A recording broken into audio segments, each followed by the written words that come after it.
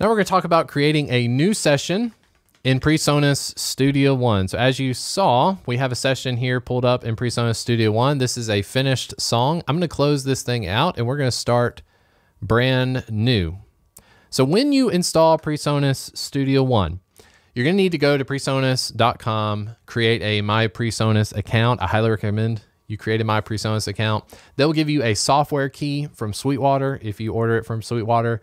Download the software just like you would any application. And at some point, you should come to this home screen. This is the home screen. As soon as you open up PreSonus Studio One, this is what you're met with. At the top left, we have an option for creating a new session. Before you click that, I want you to look under Setup and I want you to make sure that your audio interface is selected. Okay. So if you have an audio box, you need to make sure that your audio box is showing up. Make sure that it's visible to the computer.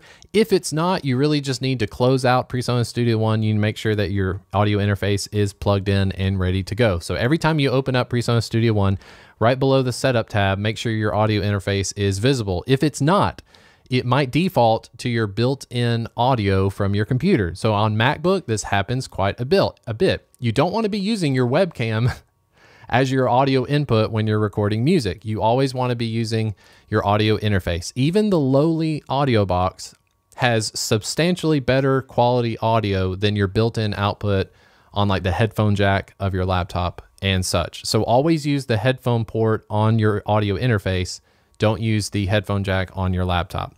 There's a bunch of options on here. One little note, if you did get the audio box and you're on a Mac, make sure that it's showing up. If it's not showing up, you might need to download what's called Universal Control. It is a simple, really small uh, file from PreSonus. It's a little software program that basically allows the computer to recognize your audio box. Mine is called the Fireface USB. This is my RME interface right here. It is essentially a two channel USB audio interface. You can see I've got levels coming in here as I'm speaking. I've got my microphone cable plugged in and then PreSonus Studio One is recognizing it. Okay. They call theirs Fireface USB. All right. If you've got this stuff set up, you can go through a little bit of the sample rate, but we're going to get to that in just a minute. Go up to where it says new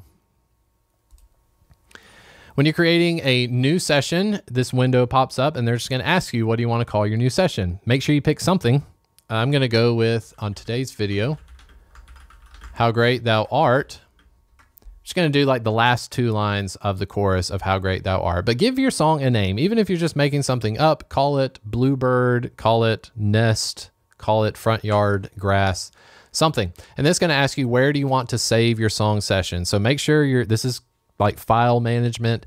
Make sure that if you want to save everything to your documents folder, make sure you create a folder specifically for your audio to live. I've got mine in an SSD called Songs SSD, and then it's got project files and all sorts of stuff there. Okay.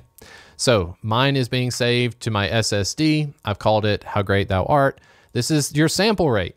I highly recommend if you're just getting started out, stick to 48K sample rate.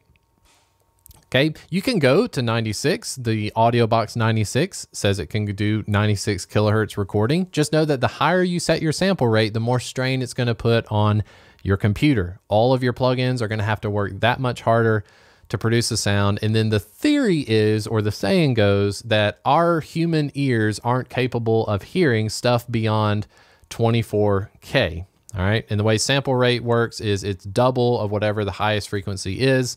So 96K, yeah, it might make your plugins run better. I definitely think Auto-Tune and Melodyne seem to benefit from a higher sample rate. But at the end of the day, if you're uploading to TikTok, if you're uploading to Facebook and YouTube and Instagram, most of these places are going to downgrade your quality.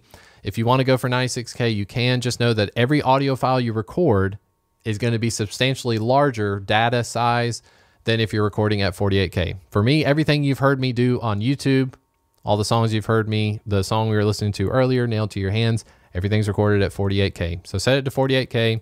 If you've got an option for 32 bit float, go ahead and set it to that. A quick way of talking about this resolution is how much dynamic range the software is able to handle. So even if we clip theoretically, if we clip on the software, we can turn things down so that it's not clipping. You can still clip on the way in on your audio interface, but that's nerdy stuff. We can save that for later. Later, at least go with 24 bit. If not, set it to 32 bit float if you can. Time base, I always go with bars. Uh, we'll talk about that later. The length of the song, you really don't have to worry about setting this, but anything around four minutes is going to be just fine. All right. Other than that, you should be good to go. You hit the OK button, and now we are met with a brand new session in PreSonus Studio One. So as you saw earlier, we had the Nailed to Your Hands song, which had a bunch of colorful tracks and it had this arrangement view. Well, that was like a finished song. This is what the brand new experience looks like.